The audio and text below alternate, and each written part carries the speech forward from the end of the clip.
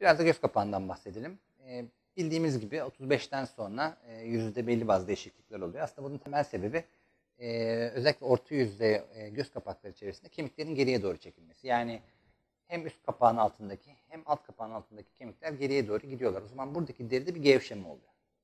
E, bu bölgede yapılması gereken tedavi eğer doğal bir sonuç istiyorsak hem bu doku kaybını doku nakilleriyle yerine koymak e, hem de burada fazlalaşan deriyi çıkarmak. Üst göz kapağında çok basitçe e, aslında burada gördüğünüz deri fazlasını çıkarıp e, o bölgede mevcut olan çizginin içine incecik dikmekten geçiyor. Üst göz kapağı ameliyatı e, aslında aşağı yukarı 15'er dakika toplam 30 dakika süren tamamen lokal anestezi altında yapılabilen hiç ağrısız ve hastanın neredeyse 4-5 gün sonra normal hayatına dönebileceği e, basitçe bir ameliyat.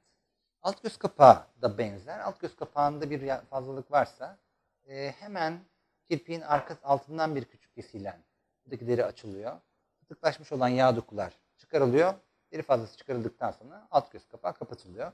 Buradaki çizgi hemen göz kapağının alt kirpiklerinin altında olduğu için hiçbir şekilde belli olmuyor.